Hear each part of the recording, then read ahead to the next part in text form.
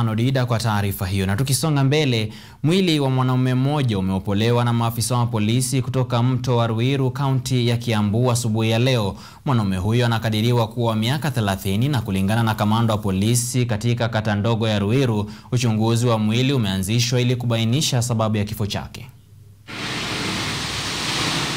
Wakazi wa Ruiru kaunti ya Kiambu waliamkia kisa cha kusikitisha baada ya mwili wa mwanamume mmoja kupatikana ukielea katika mto wa Ruiru asubuhi ya leo. Baada ya muda, maafisa wa polisi kutoka kituo cha Ruiru kilicho umbali wa kilomita mbili na mto huo waliwasili pamoja na wapiga mbizi kutoka kaunti ya Kiambu na kuopoa mwili huo. Kwa asubuhi around kitu saa mbili unusu nilikuwa nimepita nikikuja katika shughuli zangu za kufungua kazi. Vile nilipika hapo, nikapata watu wamengadha, kuna watu wengi, kuna pikipiki, kuna magari zimesimama hapo kwa barabara.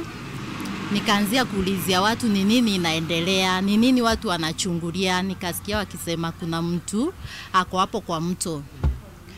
Sasa kusikia wakise, wakielezea ya kwamba kuna mtu ako hapo kwa mto, mimi nikaenda nikachungulia, nikapata kuna jamaa alikuwa amelala hapo kwa mto. Maafisa wa kituo hiki wazidi kushirikiana na vituo vya polisi vilivyo karibu na eneo hilo ili kubainisha chanzo cha kifo, kwani hakuna majeraha yoyote yamepatikana kwa mwili wa mwanaume huyo.